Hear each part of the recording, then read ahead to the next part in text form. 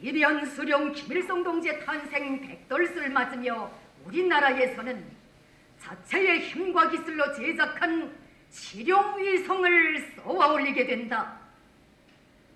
공화국 정부의 우주 개발과 평화적 이용 정책에 따라 우리의 과학자 기술자들은 두 차례의 시험위성 발사를 성과적으로 진행한 데 기초하여 나라의 경제 발전에 필수적인 실용위성들을 개발하고 운영하기 위한 과학연구 사업을 줄기차게 진행하여 왔다.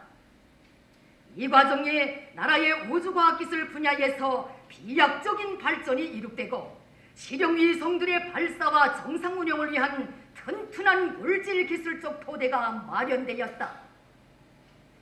이번에 쏘아올리는 광명성 3호는 그 궤도를 따라 도는 지구 관측 위성으로서 운반 로켓 운하 3으로 평안북도 철산군 서해 위성 발사장에서 남쪽 방향으로 4월 12일부터 16일 사이에 발사하게 된다.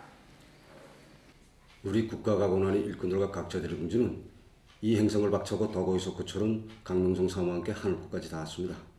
강릉성 1호, 강릉성 2호의 성과적인 발사에 이어 태양절을 맞으며 강릉성 3호를 발사한다는 소식을 듣고 보니 저희 심정은 꿀오른 격정을 금할 수가 없습니다.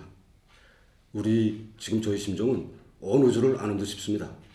우리 과학 기술이 주체 발전의 세세를 펼치며 새로운 높은 경제에 올라섰다는 것이 확인이 아닙니다.